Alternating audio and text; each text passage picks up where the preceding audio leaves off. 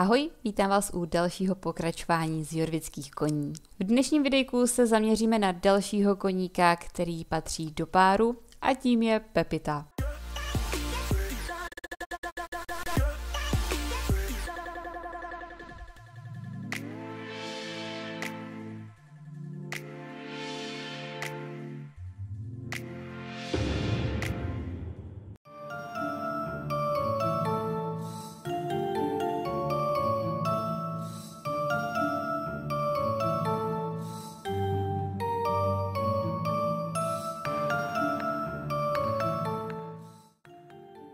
Nikdo neví, odkud Pepita, známá také jako George Horse, pochází.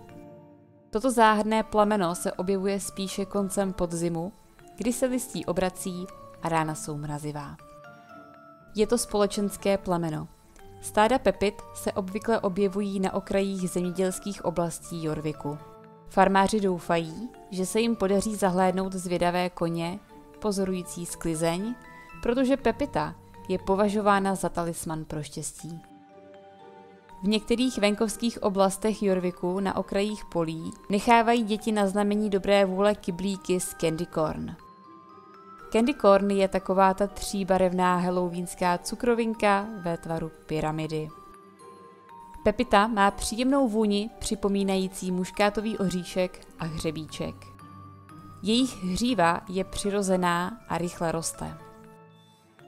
Ačkoliv je Pepita vynikajícím jezdeckým koněm po celou denní dobu, podle záblesků v jejich očích poznáte, že nejraději jezdí za soumraku. Stejně jako ostatní magičtí koně Jorviku ukazuje Pepita svou pravou tvář na divokých místech a v obydlených oblastech se skrývá. Tuto informaci jsem dneska přeložila, ale u ostatních koní už tuhle informaci překládat nebudu, protože tento popis byl aktuální dříve, kdy se verze magických měnila sama od sebe. V okolí civilizace se kůň měnil na reálnou formu a v divočině daleko od civilizace se měnil zpět na magickou formu. Tato funkce byla před časem upravená a podobu si měníme sami klávesou H. Její zbarvení v magické verzi se nazývá pumpkin neboli dýně a zbarvení v reálné verzi se jmenuje Apricot Dan. Pepita je dostupná pouze omezenou dobu a to vždy na Halloween v Galloper's Keep, obvykle za 850 starcoinů, ale v roce 2023 byla zlevněna na 599 starcoinů. Pepita má pouze jednu schopnost a to je změna podoby.